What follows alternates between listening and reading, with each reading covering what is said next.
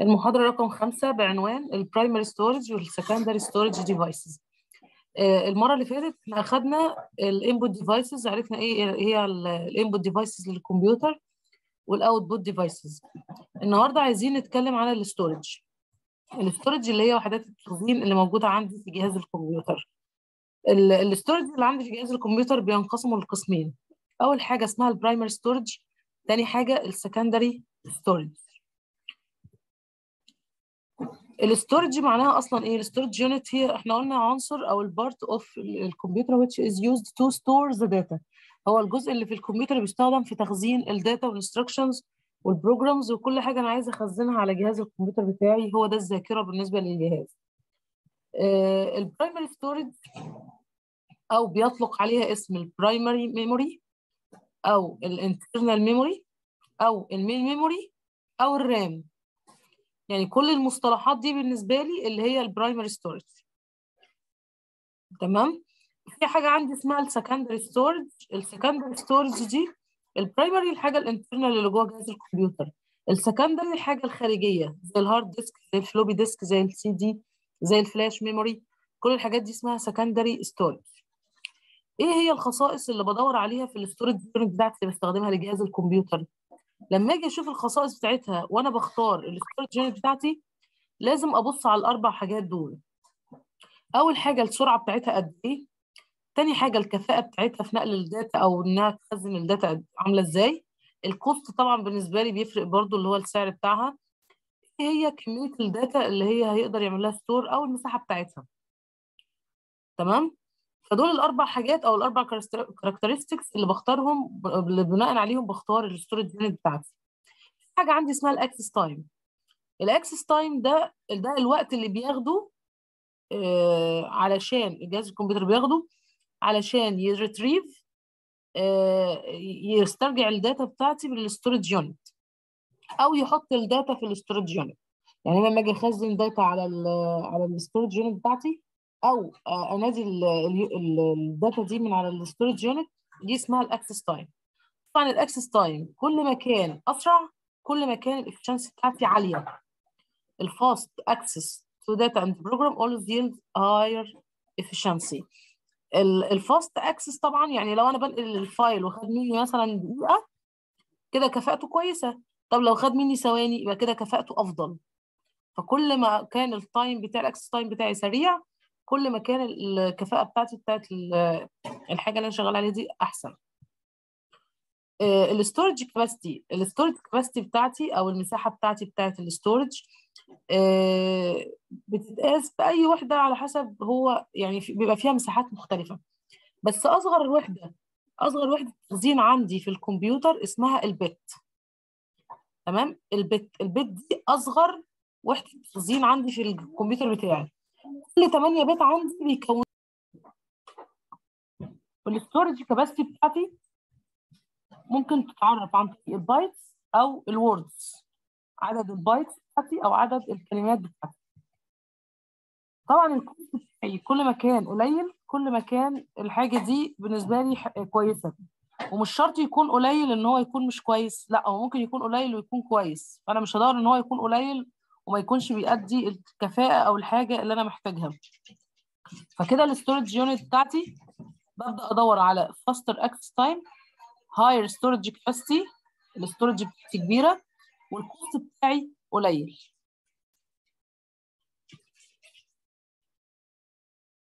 طبعا هنا بيعيد نفس الكلام تاني على الستور على البرايمري ستورج البرايمري ستورج تعتبر إن هي fast access time وال storage بتاعتي إحنا قلنا قبل كده ال storage capacity بتاعتها قليلة وال cost بتاعها عالي لما تتقارن بال secondary storage في حاجة هنا بيتكلم على ال locations اللي موجودة في ال primary storage إن كل location بيبقى ليه address خاص بيه. دي مش, مش يعني مش مهمة بالنسبة لكم قوي بس يعني لو عايزين تعرفوها برضو هو أنا لما باجي أخزن أي حاجة في ال memory كل حاجة بتتخزن ب address أو عنوان خاص بيها ما بيتكررش. unique address اللي هو ما بيتكررش. لما أجي انادي على ال data بتاعتي بيتنادى عليها من المكان بتاعها اللي هو ال unique. ما بيتكررش لأي حاجة.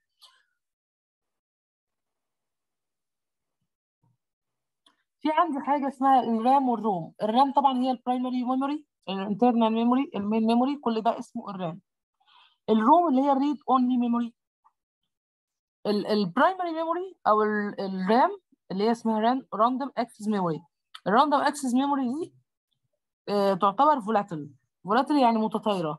إحنا قلنا متطايرة قبل كده إن هي معناها لما بي- ال power بيفصل ال data بتاعتي بت lost بتختفي. مش بت... مش بيفضل محتفظ بال data لو ال power بتاعي اتقفل. لكن ال ROM بالنسبة لي اسمها read only memory ال data ال data بتبقى متخزنة بشكل دائم مش مؤقت. يعني بمجرد ما ما الجهاز يطفي ال data بتفضل موجودة زي ما هي. فاسمها ال ROM اسمها non volatile دي أنواع من ال من ال ROM بتاعتي. طبعا ال- ال ROM هي اسمها read only memory يعني بيقرأ بس ما بيكتبش بيقرأ بس. تمام؟ read only memory ما أقدرش ان أنا اعدل عليها على ال data بتاعتي أو أحط أو اشيل بمجرد ما حطيت ال data مره خلاص ما ينفعش ان أنا اشيلها تاني. ال PROM بالنسبة لي اسمها programmable read only memory دي version جديدة من ال ROM بس بيحصل لها program يعني بت- بتتبرمج وبعد كده بتستخدم. طبعا هي برضو non volatile وال data بتاعتي ما بيحصلهاش lost لو ال power بتاعي اتقفل. دي اللي اسمها ال EPROM اللي هي ال erasable programmable read only memory دي version أحدث من ال ROM شوية اللي هي إيه؟ erasable يعني ممكن أمسح منها ال data وممكن أحط ال data تاني ممكن يتعاد استخدامها تاني. أهم حاجة عندي فيهم اللي هي ال cache memory ال cache memory دي المفروض إن هي special type of high speed memory دي دي memory آه يعني سريعة جدا. وليها استخدام معين في الجهاز الكمبيوتر بتاعي. وظيفتها إن هي لو أنا عايزة دلوقتي أعمل access اي أنا ك user عايزة أعمل access لل functions بتاعتي أو access لل programs أو access اي حاجة ال cache memory ده المسؤول إن هو يجيب ال programs وال data بتاعتي بصورة سريعة لل CPU علشان يقدر إن هو يعرضها لي. فال cache memory هي الوسيط ما بين ال user وما بين ال CPU sorry ال CPU والكمبيوتر ال CPU لما يحتاج حاجة أو ال user بيقول لل CPU أنا عايز كذا ال cache memory يبدأ يجيب الحاجة دي بطريقة سريعة ويوصلها لل CPU بحيث إنها تتعرض لي أنا ك user. آه، طبعا ال secondary storage بالنسبة لي آه، إحنا قلنا إن ال secondary storage المساحة بتاعتي هتبقى كبيرة. ال primary storage المساحة بتاعته كانت صغيرة جدا بالنسبة لل cost بتاعه كمان كان عالي. فال secondary memory ال cost بتاعت بتاعها قليل والمساحة بتاعتها كبيرة وطبعا المساحة بتختلف على حسب ال version اللي أنا جايباه أو اللي أنا شارياه وبشتغل بيه ده شكل ال secondary storage بالنسبة لي. في حاجة اسمها sequential access هي نوعين حاجة sequential access وحاجة direct access sequential access زي ال magnetic tape وال direct access زي ال floppy disk ال hard disk ال CD ROM ال flash memory أو memory card كل الحاجات دي مثال لل direct access إيه الفرق بين ال sequential access وال direct access ال sequential access معناها إن أنا ال data بتاعتي لازم يتحصل لها display ورا بعض. ما ينفعش إن أنا مثلا إيه زي الكاسيت القديم كده لما كنا بنشغله زمان كانت الناس بتشغله وكان بيجي ال track ورا بعضه. ما ينفعش أقول له والله هات لي ال- الأغنية مثلا رقم ثلاثة لا ده لازم يجي واحد واثنين عشان يجي ثلاثة ما ينفعش أتحكم فيها. عاملة زي ال- ال tape اللي هي اللي هي الاسطوانات القديمة اللي كانوا بيشغلوها دي لما كانوا بيحطوا عليها ال- الدراع بتاع زي ال drum ده بتلاقوا إن السي دي أو الاسطوانة شغالة ما ينفعش إن هو يجيب track معين يعمل له display لا ده هو لازم يبقى sequential كله ورا بعضه. ال direct access على عكس ال sequential ال direct access معناها إن أنا لما أحتاج حاجة معينة بجيبها direct زي ال hard disk لو أنا عندي ال hard disk فتحاه وعايزه ملف مثلا. مش لازم إن أنا لو عايزة الملف partition C لازم أفتح ال C وأبص على كل الملفات عشان أقدر أجيب الملف بتاعي لأ. ده أنا بعمل direct access مجرد ما عاوز الملف وعارفة مكانه أفتح الملف وأشتغل عليه عادي مش لازم أعمل display لحاجة قبله ولا حاجة. فده الفرق بين ال sequential وال direct ده شكل ال magnetic tape وال punched card أهي. كل الحاجات دي تعتبر sequential طبعا ال sequential ليها advantage وليها disadvantage ال advantage بتاع ال sequential access بتاعي إن هو آه، ال cost بتاعه قليل. آه، سهل إن أنت تشيله وتستخدم يعني تمسكه في إيدك سهل وتمشي بيه عادي بيبقى حجمه خفيف. لكن ال limitation بتاعه إن هو بيبقى sequential مش بقدر إن أنا أجيب الحاجة اللي أنا عايزها. لو عايزه حاجة مثلا في ال track رقم 10 بضيع وقت كتير عشان أوصل لل track اللي أنا عايزاه. وطبعا النوع من الأنواع دي آه، بيبقى فيه يعني بيحتاج درجة حرارة معينة. ففي بيحصل له فيه مشكلة لو درجة الحرارة كان فيها مشكلة. آه، فهو بيحتاج حاجات معينة أو خصائص معينة عشان يقدر تقدر تحافظ عليه. طبعا الدايركت أكسس قلنا اتكلمنا عليه.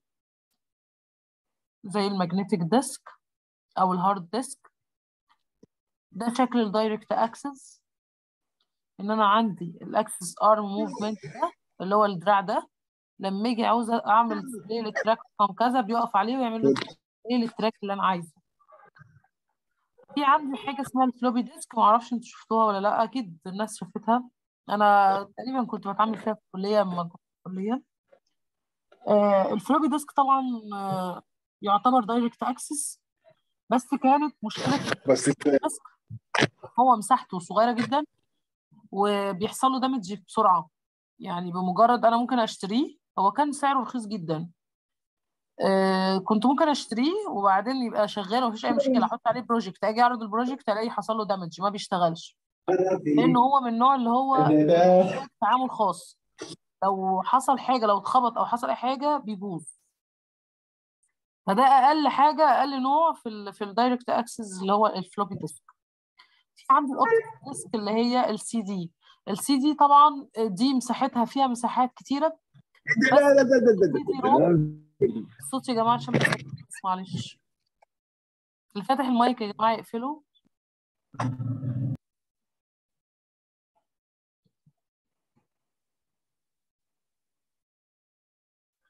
ال optical disks أو اللي هو ال CD ال CD طبعا بيبقى مساحته كويسة.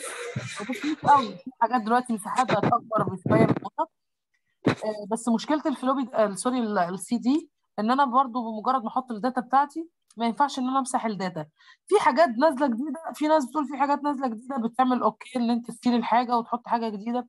بس بصراحة أنا ما شفتهاش. عشان ما أقولش حاجة أنا ما شفتهاش. اللي كنت شغالة بيها قبل كده كان بمجرد ما تحط ال data عليها ما ينفعش إن أنت تشيل ال data. هو ممكن آه يكون في مكان فاضي تنقل فيه data تانية. بس بمجرد ما تعمل burn لل data بتاعتك على السي دي ما ينفعش إن أنت تشيلها وتعملها delete تاني تمام؟ كده المحاضرة بتاعت ال primary storage وال secondary storage خلصت. آه، المحاضرة اللي بعدها مش مش كبيرة ال- يعني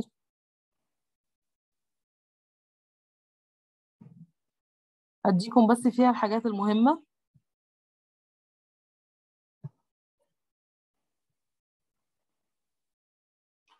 هي اسمها Introduction to Operating System مقدمة لنظام التشغيل يعني إيه نظام تشغيل؟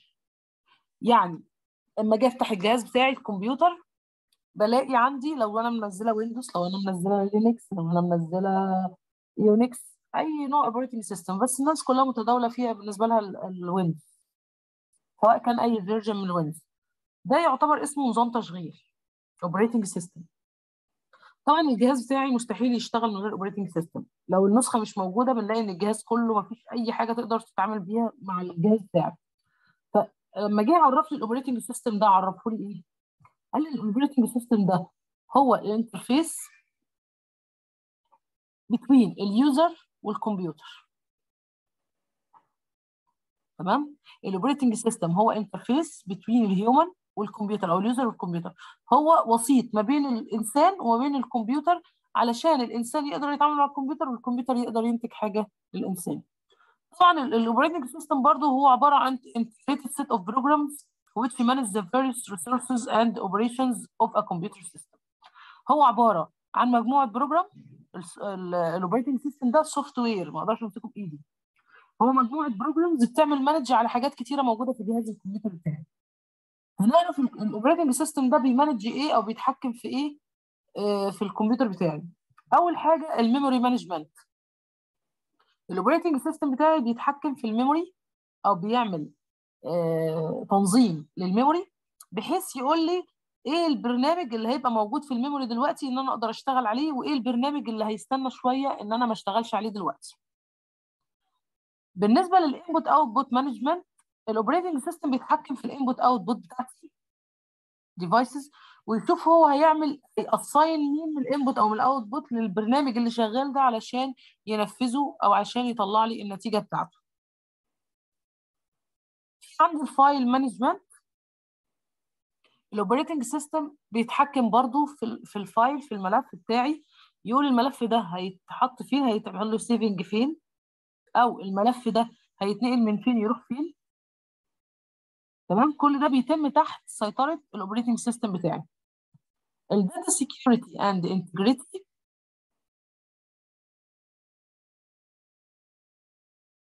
الداتا سيكيورتي والانتجريتي معناها إن ال operating system بتاعي بيبقى موجود دلوقتي وأنا مثلا فاتحة ملفين وبشتغل من الملف ده شوية ومن الملف ده شوية الاوبريتنج سيستم بتاعي بيحافظ إن ال data دي ما تدخلش في بعض. يعني ما بقاش فاتحة الملف ده وألاقي ال data دي جت هنا أو ال data دي جت هنا.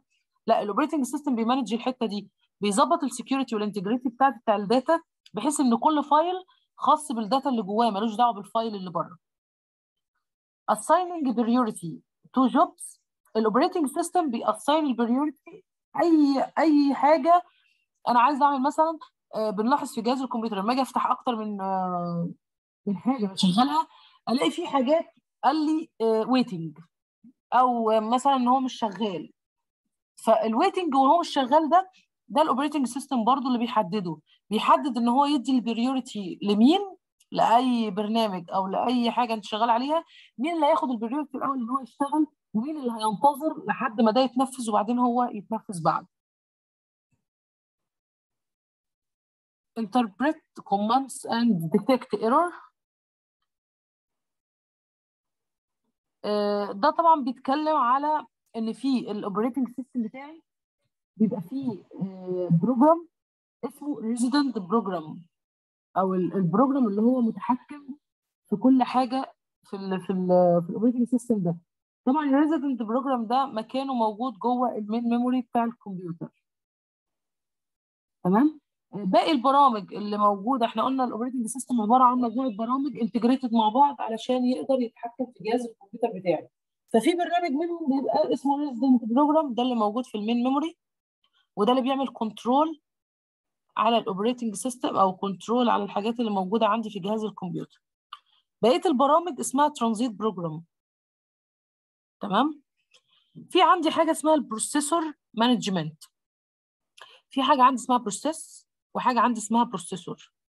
process دي عملية أو برنامج لما يحصل له execution البرنامج لما بيجي يتنفذ اسمه process عملية. ده software ال processor ده بقى ده ال hardware اللي موجود عندي في جهاز الكمبيوتر اللي مسؤول إن هو ياخد ال process دي وينفذها. تمام؟ فال operating system بيعمل assign لل processor ده أو بيتحكم في ال processor ده يشوف ال processor أنهي processor هياخد أنهي process علشان ينفذها لي. فلازم نميز بين كلمة process و processor. process هي برنامج في ال execution لكن processor هو عبارة عن ال hardware اللي موجود عندي في جهاز الكمبيوتر المسؤول عن تنفيذ ال process دي أو يعمل لها execution لل instructions بتاعتي. طبعا الحاجات دي بقى باقي الحاجات هو أنا كده ده لحد هنا المطلوب منكم؟ باقي الحاجات اللي هي ال batch processing وال spooling والحاجات دي وال multiprogramming multithreading multiprocessing time sharing online دي حاجات مش مهمة بالنسبة لي ك course معايا. هسيبها لكم لو حد عايز يطلع عليها يقراها مفيش أي مشاكل بس إحنا لحد ال- ال slide رقم خمسة في في ليكتشر 6 بس.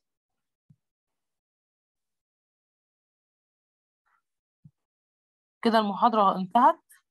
لو حد عنده أي سؤال يا جماعة يتفضل